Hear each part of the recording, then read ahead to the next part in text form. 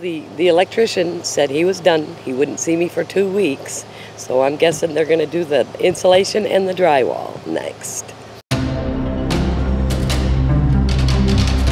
Basically, we do use SOS Insulation for all of our insulation in all of our homes. Uh, they do a great job. There's usually a combination of insulation that goes into every house. So our bond in the crawl space will all be spray foamed with closed cell foam. And the reason we do that is it, it, really seals up that bottom of the house. And then in our walls, we do blown in cellulose, um, which is a hard pack blown in cellulose. So it's a full cavity fill. Um, it's very good for sound deadening and as well as insulation, its insulation value. Most of our houses, if not all, have an inch of foam on the outside as well. So there's another R5 right there, and that creates a thermal barrier.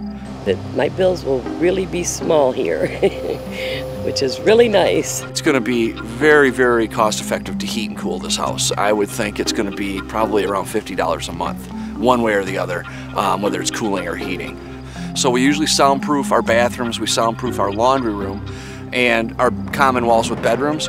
So with this house, that was probably just about every interior wall got soundproofed as well. Midland Drywallers is one of the best around. Um, we use them for all of our drywall as well as our drop ceilings in our houses. Drywall is an art. If anybody's ever tried it, they understand exactly what I what I mean. Um, it's it's something that's learned over time. The, the work that they do is very good.